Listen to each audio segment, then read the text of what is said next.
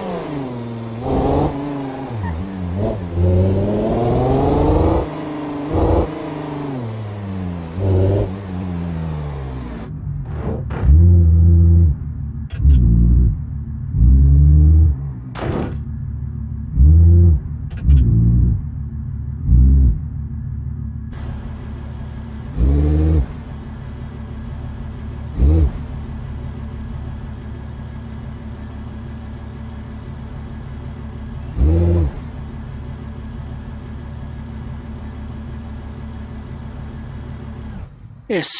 दिखने में पुराना है लेकिन मैं सच कहूँ इसका जो ड्राइविंग एक्सपीरियंस था उतना ज़्यादा बुरा नहीं था यार अगर इसका लुक और ज़्यादा रियलिस्टिक होता तो चलाने में मज़ा आता लेकिन कोई बात नहीं अगर आपको ड्राइविंग एक्सपीरियंस से मज़ा लेना है तो परफेक्ट व्हीकिल है और इसका आप चेंज भी कर सकते हो तो स्पोर्ट मोड हो गया सब मोड भी चेंज कर सकते हो इसका वजह से मुझे तो अच्छा लगा मतलब चलाने में अच्छा लगा थोड़ा सा एग्रेसिव था लेकिन इसके लिए हाईवे से ये जो पतली गली में चलाने के लिए गाड़ी बनाई नहीं है क्योंकि एक्सीडेंट हो सकता है और ब्रेकिंग मुझे उतना सही नहीं लगा